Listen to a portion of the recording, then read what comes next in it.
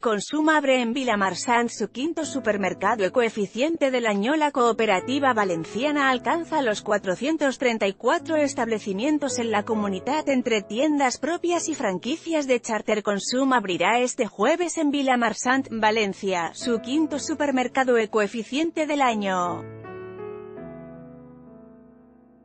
Esta tienda, ubicada en la calle San Antonio, número 21, ha supuesto la creación de 40 puestos de trabajo especializado, en su mayoría procedentes de la localidad, y consume un 40% menos de energía que uno convencional, según ha informado la cooperativa en un comunicado.